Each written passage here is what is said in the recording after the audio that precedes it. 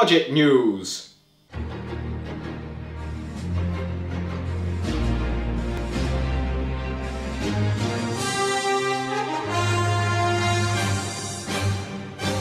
Good evening, I'm Charlton Heston.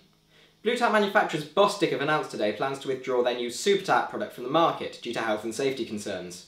It's rumoured to have been prompted after several golfers had their arms literally torn from their sockets when a prank involving Super SuperTac went awry.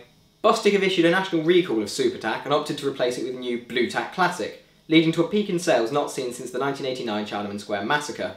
To recap, SuperTac deadly, Blu Tack friendly. This is the news.